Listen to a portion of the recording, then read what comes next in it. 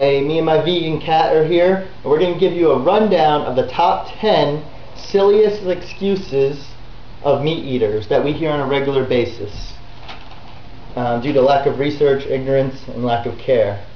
These are the top reasons people continue to barbarically eat and wear animals today in the 21st century. Uh, they think they need the protein. Okay, we have a little interruption here. they think uh, we don't get enough protein.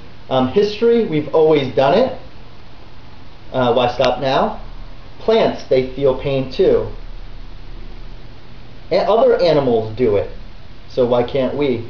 Um, slash the omnivore carnivore dilemma. Um, it's too expensive and what, and what is left to eat.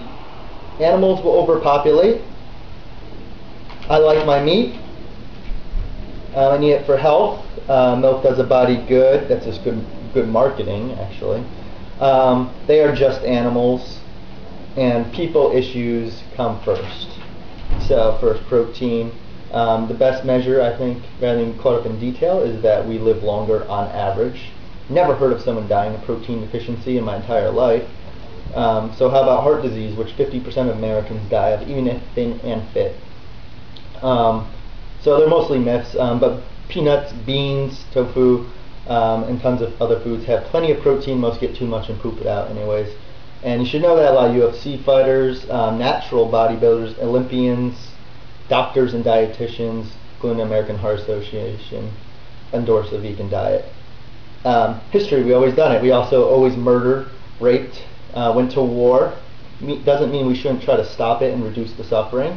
Um, we do many strange things um, in our history um, that are unnecessary that we know today.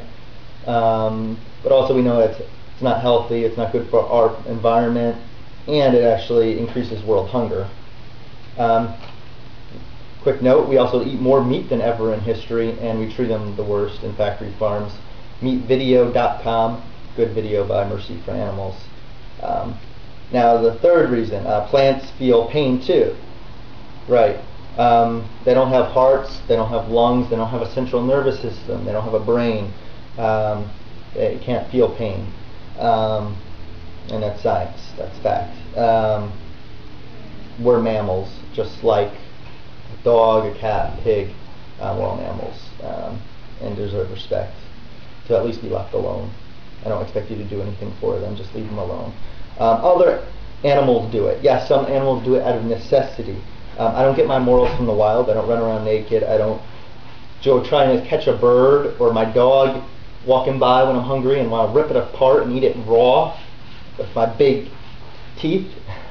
Um, and eat its insides and just tear it apart. Um, if you're that big of a savage, go. I suggest you doing that. It's better than factory farming at least. Um, but um, there's a lot of facts that we don't need to eat meat, and it's not necessary. We have long intestines. Meat rots in your colon um, colon cancer.